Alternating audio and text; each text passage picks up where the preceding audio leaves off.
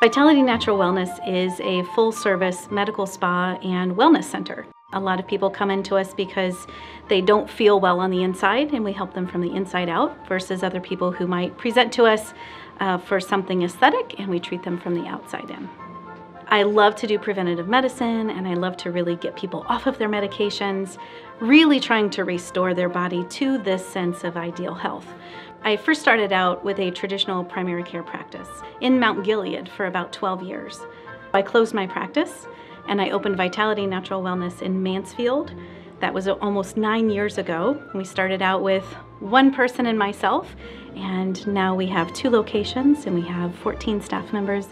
Our staff members typically come from other staff members or from people very close to us. We try to maintain a really strong culture of our core values and our mission statement. Currently, we actually have all women besides our CFO, who is male, and it's a wonderful environment of supporting each other, making sure that we can encourage them in all aspects of their life, both personally and in their professional careers. Over 50% of our employees have a side hustle, so to speak, so it's fun to really support entrepreneurial spirits even outside of Vitality. We want every office to smell good. We want it to look good and we want it to feel good. Every single person should feel like they were listened to, that we practiced with intention, that we do what we say we're going to do.